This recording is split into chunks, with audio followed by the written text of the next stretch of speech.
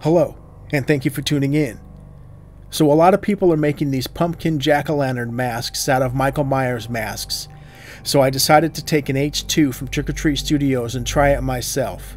Now, this is my first time doing one of these, so try to go easy on me. I hope you enjoyed the video, and thank you for watching. Okay, so here I'm just marking where I'm going to make the cuts. The eyes, the nose, and the mouth. And here I'm cutting everything out.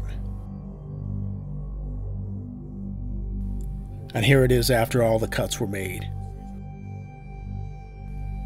And now it's time to lay down our first orange base coat.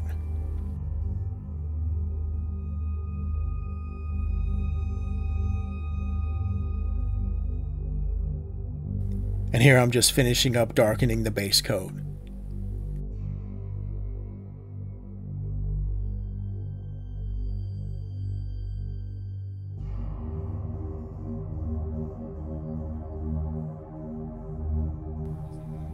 And now I'm doing a wash with some super thin down black.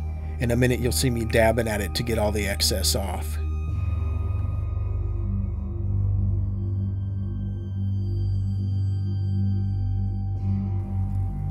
And now I'm taking some blood red and going around the cuts that I made for the mouth, the nose, and the eyes. Then I took black and went around the same areas the mouth, nose, and eyes. Here I'm just doing a black coat around the edges just to give it some depth.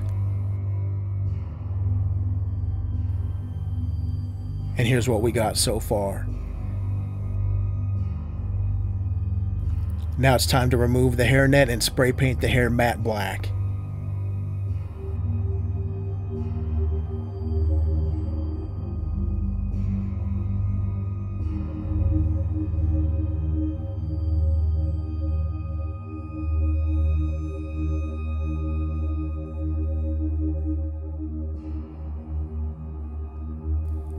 And that's pretty much all I did to make my Michael Myers pumpkin face Halloween mask. I hope you enjoyed the video, and thank you for watching.